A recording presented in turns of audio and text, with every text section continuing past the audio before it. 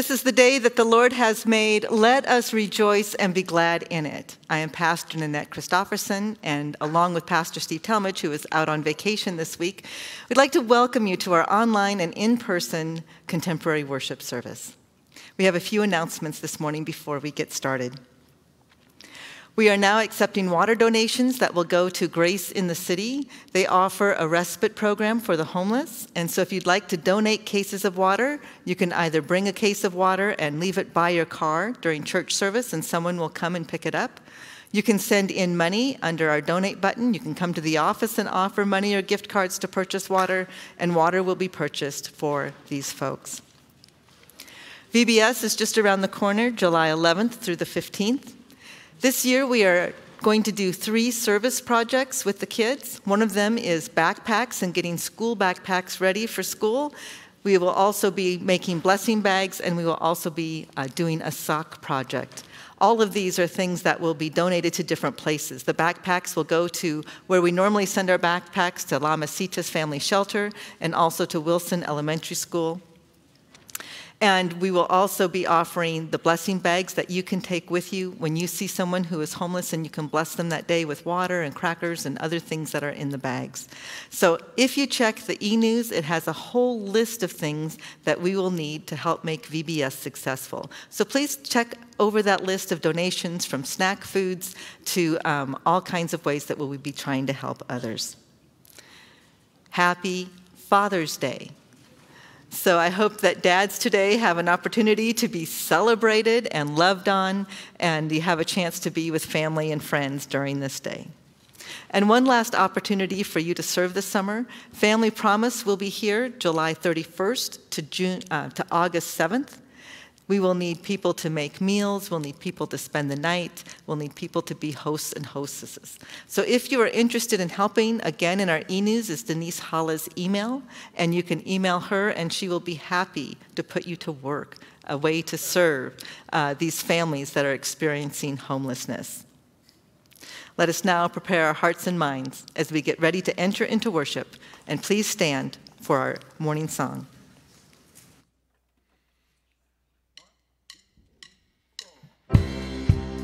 Clap your hands with me. As we worship the Lord this morning, we've waited for this day. We've gathered in your name. We're calling out to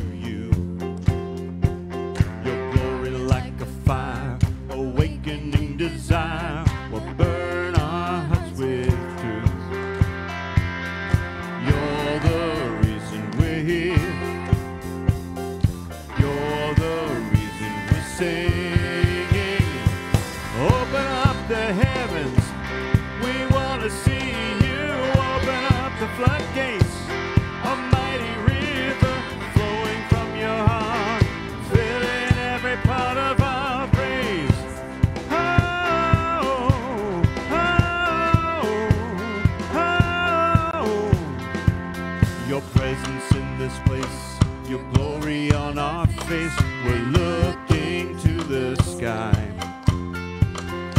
sending like a cloud. You're taking with us now,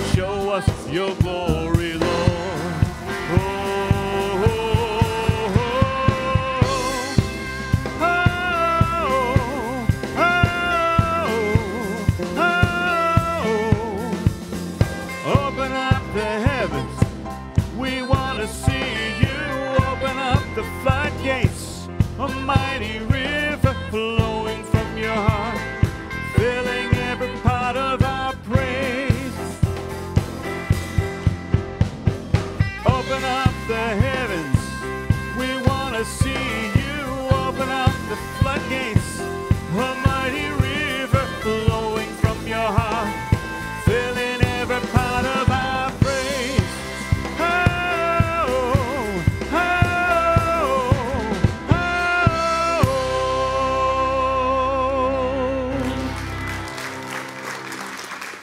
And let us pray. Lord God, we ask that you open up the floodgates, fill us with your spirit. And as we hear your word this day, may we embrace it and may we believe it. And may we go out and live it. We ask this in Jesus' name. Amen. Our worship continues with the reading of the gospel and our gospel acclamation. Please stay standing.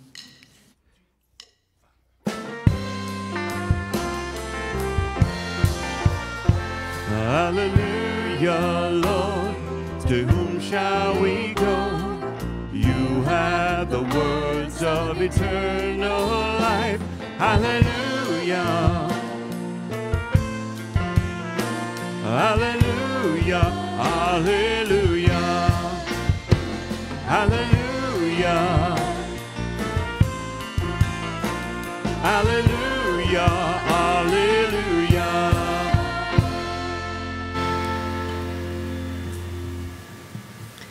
Good morning.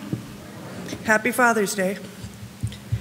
Today's gospel is taken from Luke chapter 8, verses 26 through 39. Then they arrived at the country of the Gerasenes, which is opposite Galilee. As he stepped out on land, a man of the city who had demons met him. For a long time he'd worn no clothes, and he did not live in a house, but in the tombs. When he saw Jesus, he fell down before him and shouted at the top of his voice, What have you to do with me, Jesus, Son of the Most High God? I beg you, do not torment me. For Jesus had commanded the unclean spirit to come out of the man. For many times it had seized him. He was kept under guard and bound with chains and shackles. But he would break the bonds and be driven by the demons to the wilds. Jesus then asked him, What is your name? He said, Legion. For many demons had entered him. They begged him not to order them to go back into the abyss. Now, there on the hillside, a large herd of swine was feeding, and the demons begged Jesus to let them enter those. So he gave them permission. Then the demons came out of the man and entered the swine, and the herd rushed down the steep bank into the lake and was drowned. When the swineherd saw what had happened, they ran off and told it in the city and in the country. Then people came out to see what had happened, and when they came to Jesus, they found the man from whom the demons had gone, sitting at the feet of Jesus, clothed and in his right mind. And they were afraid. Those who had seen it told them how the one who had possessed, been possessed by demons had been healed. Then all the people of the surrounding country of the Gerasenes asked Jesus to leave them, for they were seized with great fear. So he got into the boat and returned.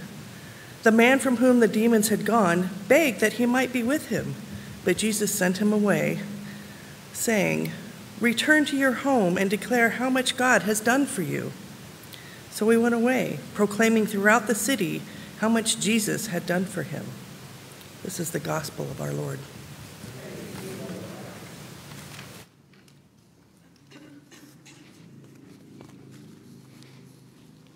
Please be seated.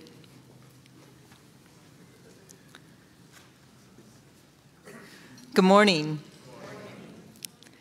Have you ever thought that you were very well prepared for something, but then realized that you weren't? Mark and I had dated two and a half years before we got married. We met in Japan while I was teaching there American military children on an American military base, and he was a pilot for the United States Air Force. I had watched other wives complain about when their husbands would go TDY. TDY means temporary duty elsewhere. And I thought, well, I will not be like that. Because you know that this is part of the deal when you say, I do, to someone who is serving in the United States military. And so when Mark asked me to marry him, I thought, I got this down. I know what this is about. So we were married in South Dakota, but then we went to our new station, which was in Germany. And we were there probably three days when he came home from work telling me that he was going to go TDY. He was going to be gone for three weeks, and he was leaving the next day. I put on my brave face and said, This is what I said I'd do. And so I drove him to the base that morning. He had me drive so I would know exactly how to get there. I prayed on my way back after dropping him off that I would be able to find our apartment in the small town of village that we lived in in Binsfeld. And once I found that apartment and went back inside, now mind you, this is before Google Maps and all these great cell phones and all of these things, I started blaming. I blamed the squadron commander for sending him off so soon after we were married.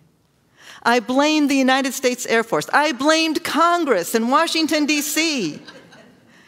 Whatever I could do, I was spewing blame upon anyone and everyone. Until I realized, I realized that I had become one of those wives in just a matter of days of being married. Blame. Blame is defined by Brene Brown as something that we use to discharge and get out of us our pain and our anger. When we blame someone or something, we are trying to get out our anger and our discomfort. For blame is the inverse act of accountability. And accountability is so much harder. Blame is easier, blame is convenient. But accountability means that we are called to be vulnerable. We are called to be vulnerable with those of whom we are in relationship with. We blame because it's oftentimes in an innate sense of who we are. We blame because we want to protect ourselves. We blame because maybe we don't want to look at ourselves carefully. It's far easier to put that on someone else. But there are some real downsides to blame. For when we blame, it doesn't stop our suffering. Blame doesn't stop our anxiety. And at the deep, darkest places of blame, at the root of blame, is fear. And probably one of the things that we don't even think that blame does is that blame doesn't offer a way for restoration or hope. Would you please pray with me?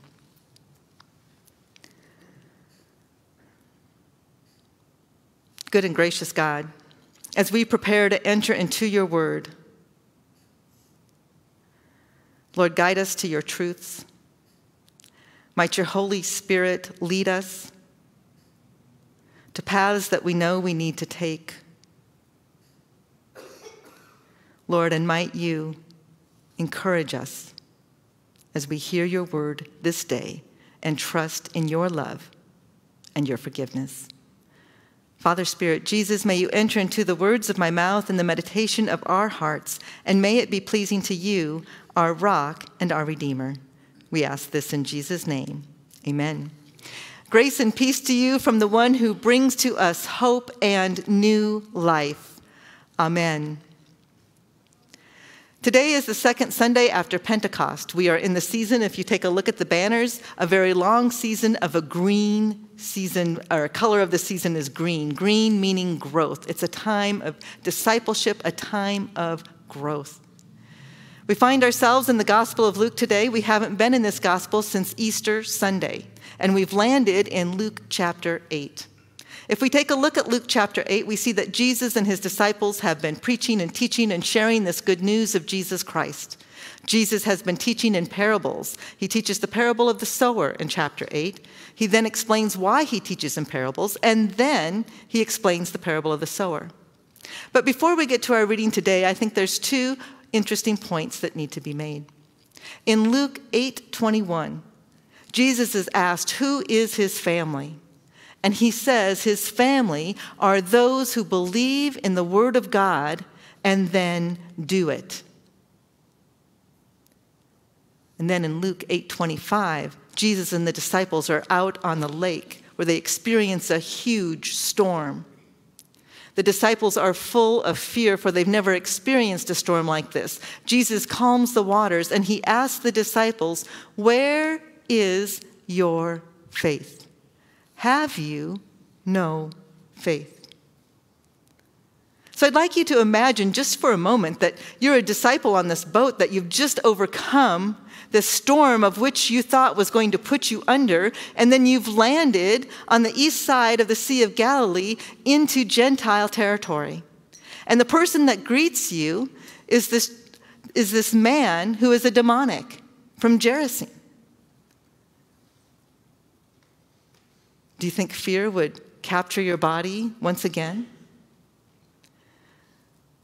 It is very important to this gospel writer that he include this scene of Jesus amongst the Gentiles because Luke wants us, wants us to know that Jesus' powers go beyond all boundaries. Jesus demonstrates this power by healing this man that is full of demons and that this love that Jesus intends not only for his disciples is meant for everyone, for all.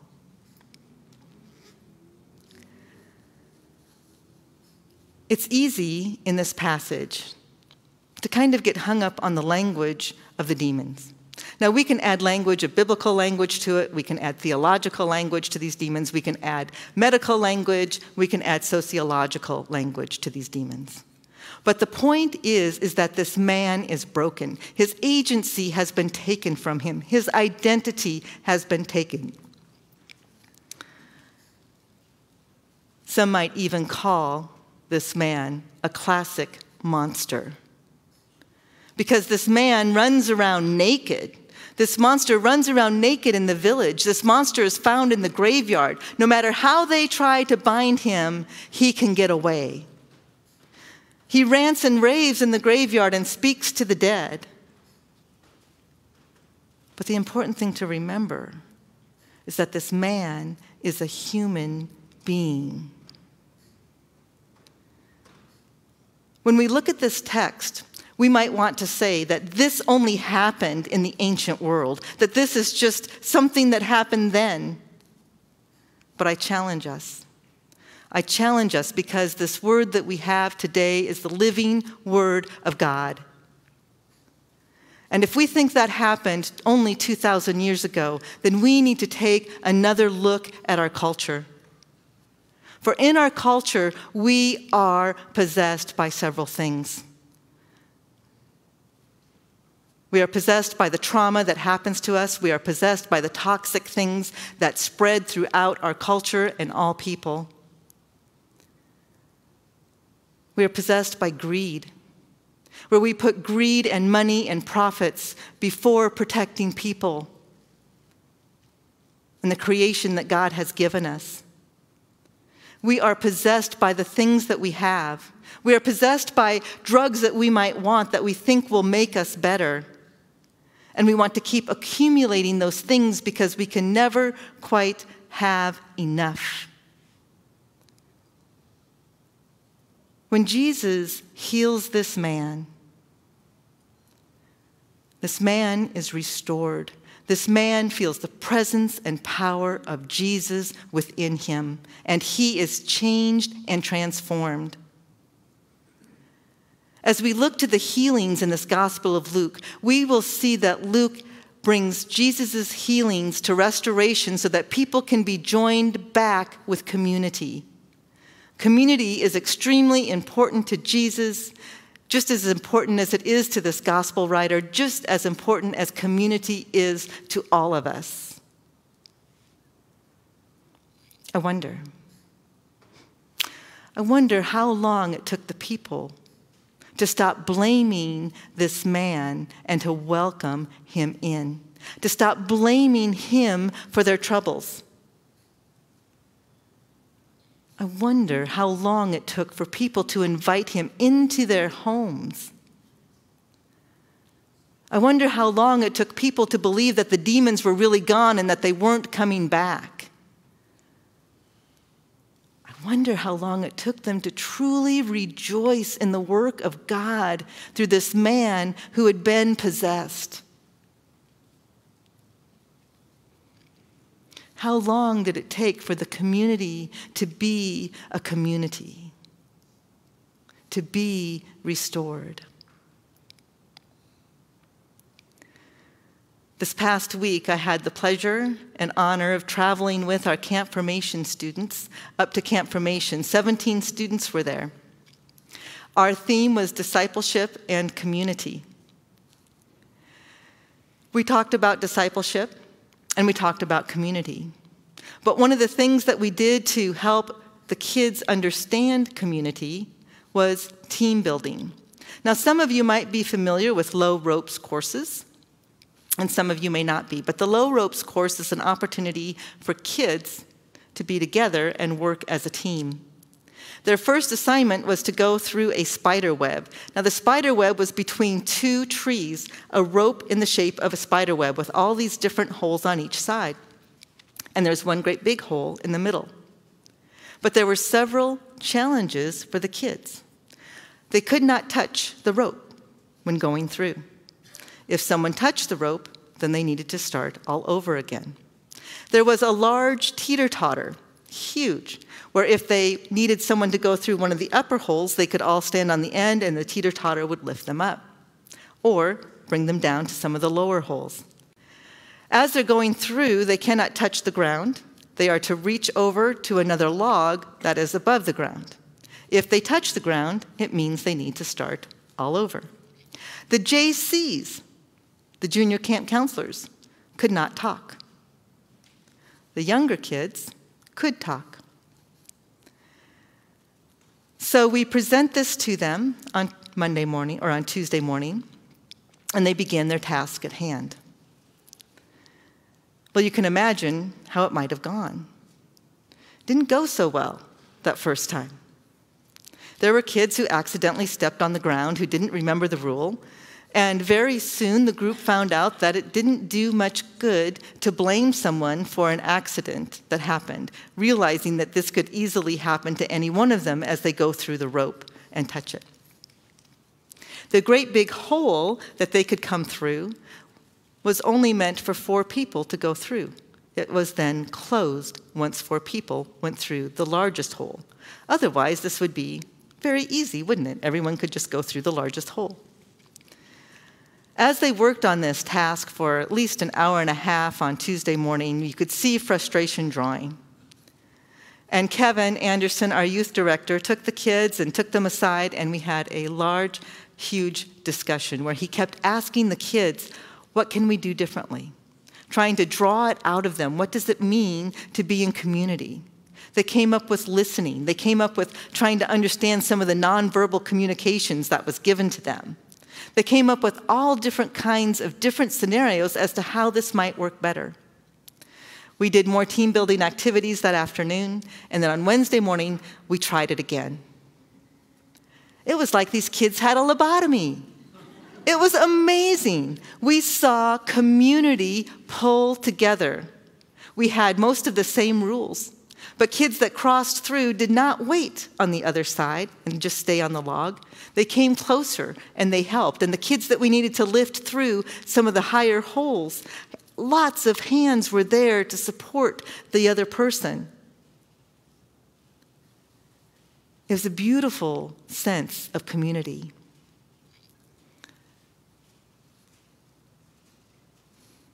When we talk about community, there's something different about a faith community. There are all kinds of communities these kids could belong to. They could belong to a soccer team, the band, they can belong to a swim team, they can belong to a tennis team or a theater group. And all of these things are well and good. But we ask them what's different about a faith community compared to the other communities that you can belong to. One of the things they came up with is in a faith community, you don't need any qualifications. You can be a part of it. No matter what age you are, you are welcome. When, asked, when we asked the kids what else was different, we can find love in other communities. But the source of love in a faith community, we recognize it as coming from God. The source of love in a faith community comes from God. And all God asks of us is for an authentic response, an authentic response to his unconditional love, to forgiveness that never ends, and to grace abounds. As we experience these in our baptism and we see God's love for us through his son Jesus Christ and the blood shed on the cross. Community is about pulling together and looking out for each other and welcoming all in and inviting more and more to experience, to experience this amazing love of God. Jesus knows that we will experience fear. Jesus knows that oftentimes we'll be a part of something that's toxic and that traumatic things will happen to us in our life.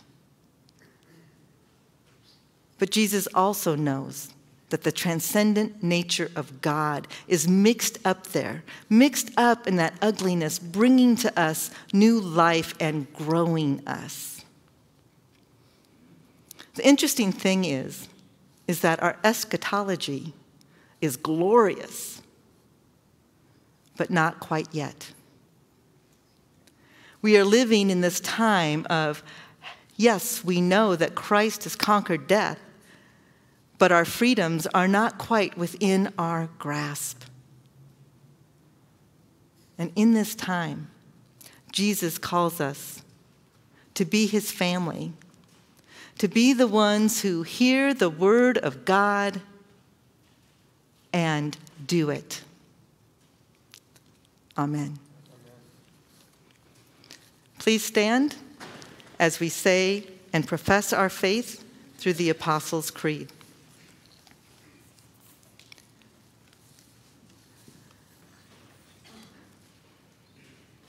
I believe in God the Father Almighty, creator of heaven and earth.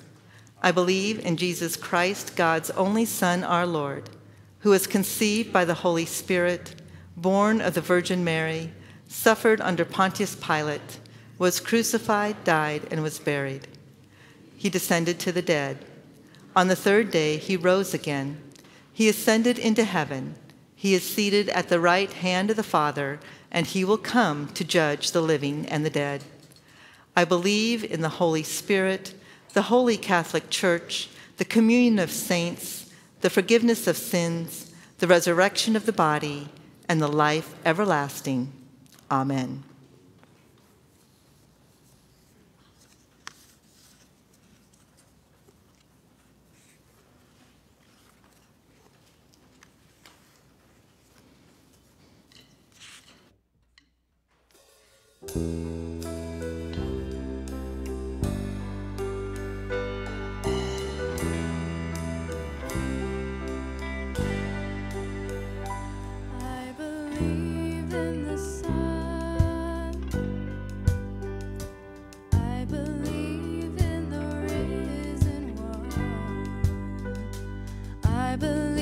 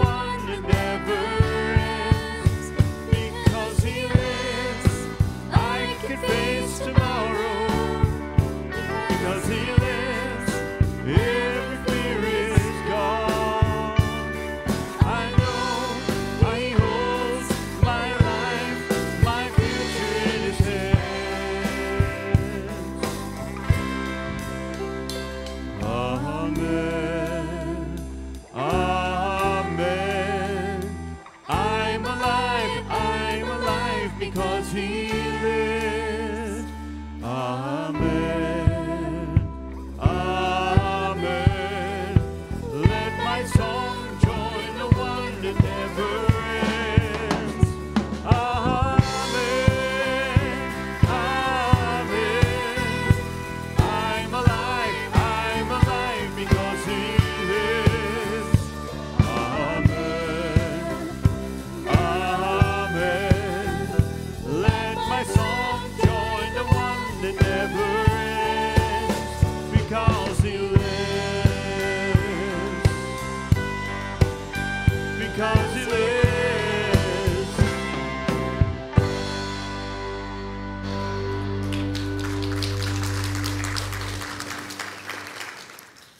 You may be seated.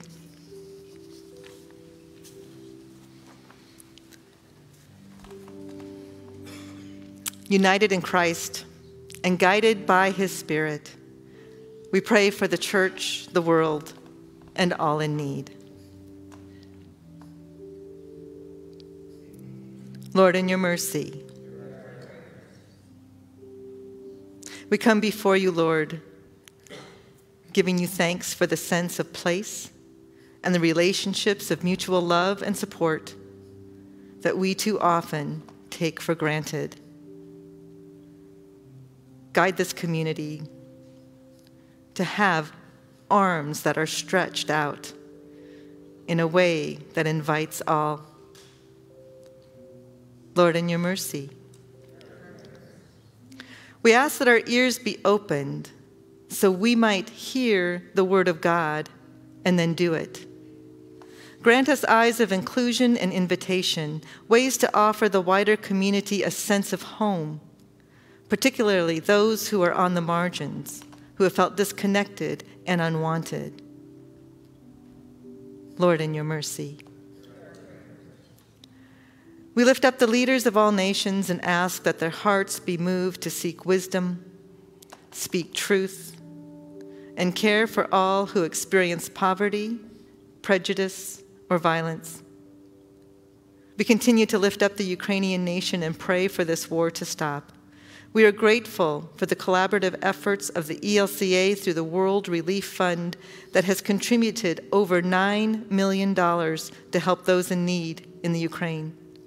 Further, the work of all people working for peace.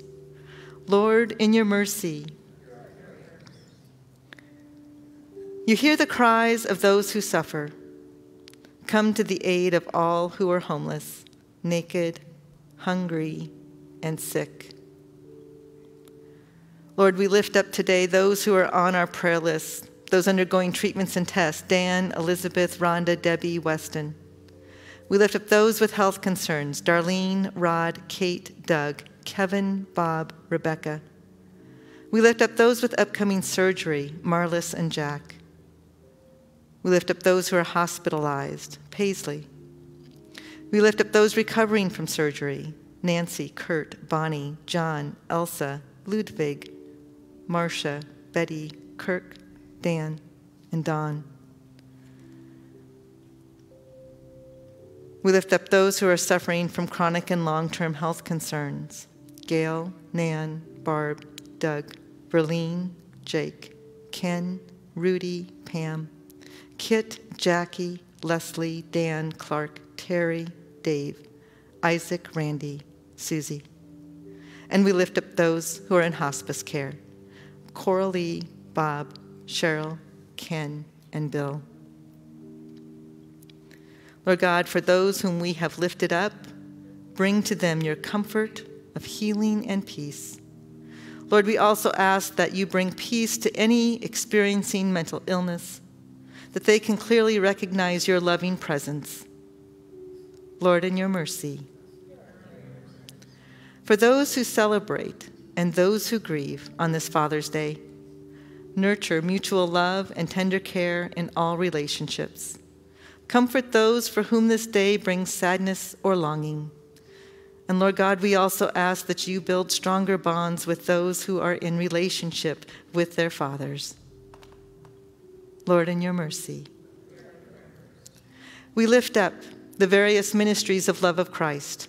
We ask for your guidance in our music ministries, in faith formation and faith in action. Guide our board as they make decisions and prepare our hearts for our next steps. Lord, in your mercy. For our faithful departed, for whom all earthly joys and sorrows have disappeared, and who now see the full picture of God's living presence, that they may be at peace in His sight. Console grieving families, and console the families of John and Beth Hess, and Kathy Shoemaker, family and friends upon the death of Kathy's husband and Beth's brother in law. Console Roger Alexander, family and friends upon the death of his wife Mary. And we lift up Joe and Joey Boguszewski, family and friends upon the death of his dad and Joey's grandfather, Joe Boguszewski Jr. Bring to these families that are grieving your comfort, your peace, and let them know that your presence is near. Lord, in your mercy, we lift up all who are suffering displacement from the floods at Yellowstone. Bring them your courage and hope, Lord, in your mercy. God of every time and place, in Jesus' name and filled with your Holy Spirit, we entrust these spoken prayers and those in our hearts into your holy keeping. Amen.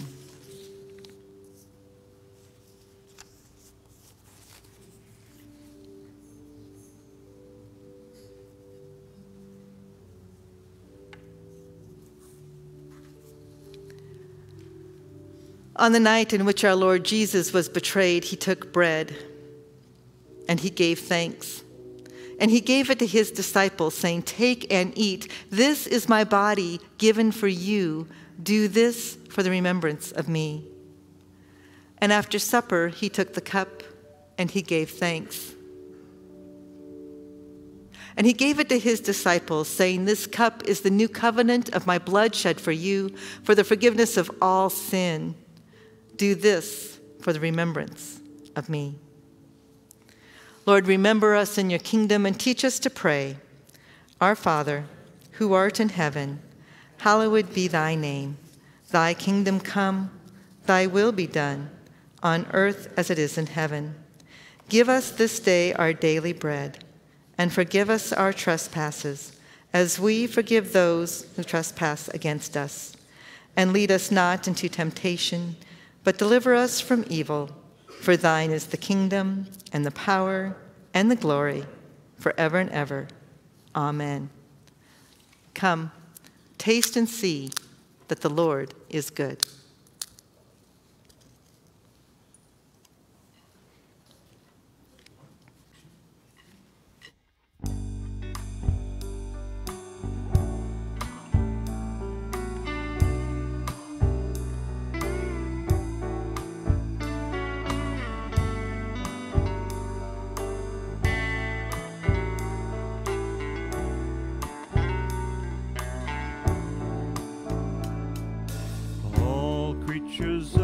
God and King. Lift up your voice and with us sing. Oh, praise Him. Hallelujah. Thou burning sun with golden beam. Thou silver moon with softer gleam. Oh, praise Him. Oh, praise Him.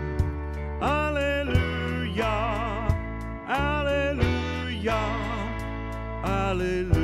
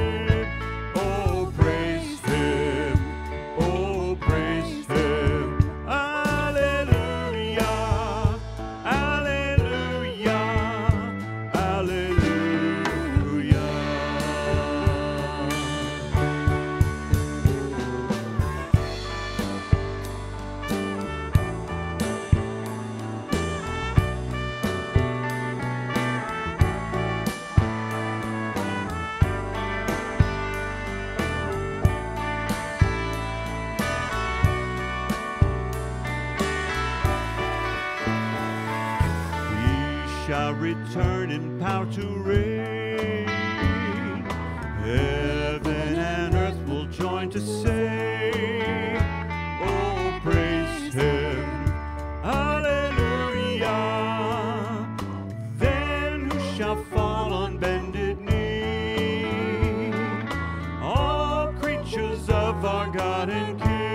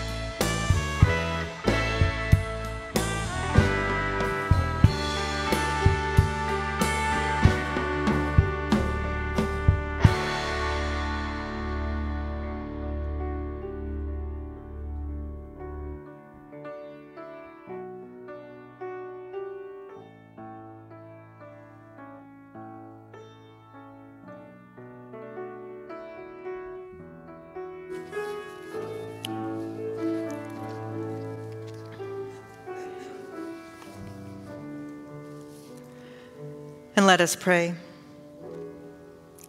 Jesus Christ, host of this meal, you have given us not only this bread and cup, but your very self, that we may feast on your great love. Filled again by these signs of your grace, may we hunger for your reign of justice. May we thirst for your way of peace. For you are Lord forevermore. Amen. The Lord bless you and keep you. The Lord's face shine upon you and keep you in his grace. In the name of the Father, Son, and Holy Spirit. Amen. Please stand for our sending song, Yes, I Will.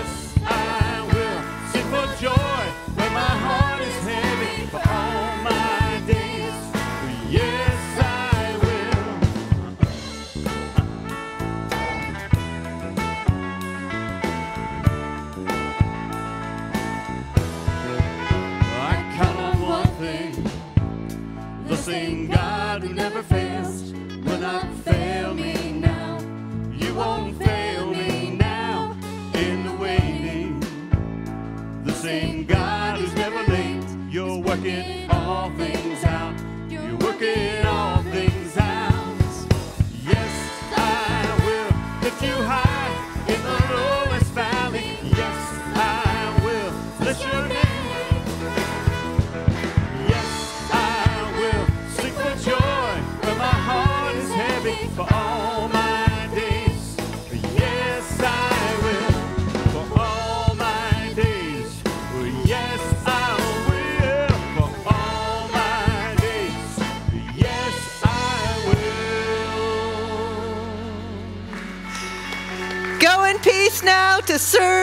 love the Lord.